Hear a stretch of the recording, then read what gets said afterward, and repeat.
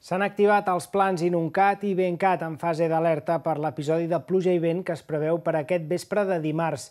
A Granollers, l'Ajuntament ha tancat el Parc Torres Villar per motius de seguretat per evitar caiguda d'arbres, com ja va passar en un temporal el mes d'octubre de l'any passat. El Servei Meteorològic de Catalunya preveu un episodi generalitzat de pluges continuades fins la matinada de demà, que puntualment poden ser intenses a la comarca es produiran crescudes de rius i rieres. Per això es demana prudència i evitar desplaçaments innecessaris en els moments de màxima intensitat de la tempesta.